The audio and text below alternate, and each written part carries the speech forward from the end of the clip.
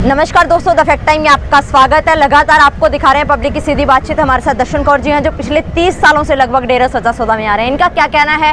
क्या है असली सच डेरा सच्चा सौदा? वैसे डॉक्टर गुरमीत राम रीम सिंह चिंसा का इनसे सीधी बातचीत करके आपको दिखाते हैं। Darshan Kaur ji the fact time में आपका स्वागत है।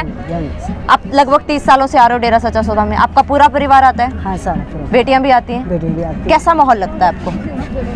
यहाँ बहुत अच्छा माहौल लगता है। लड़कियों की सुरक्षा को लेकर क्या कहना है आपका?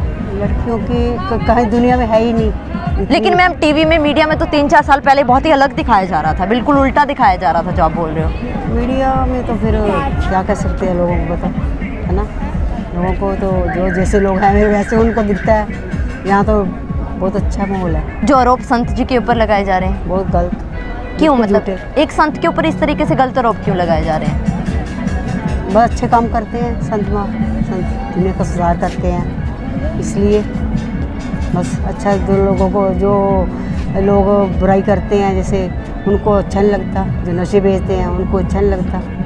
क्या अच्छे काम गुरुजी ने समाज के लिए किए हैं? बहुत ज़्यादा। मानता भलाई के बहुत कार्य अच्छे किए हैं गुरु जी ने। बहुत ज़्यादा। क्या ज़रूरत है उनकी समाज को? बहुत ज़्यादा। क्यों ज़रूरत है?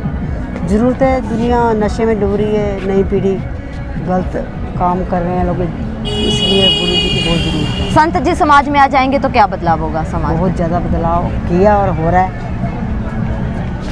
हो रहा बहुत हो रहा है। बहुत किया गुरु जी ने। क्या मांग करना चाहोगे आप सरकार से संत जी के सरकार से यही मांग करेंगे कि हमारे को हमारे गुरु जी को करें।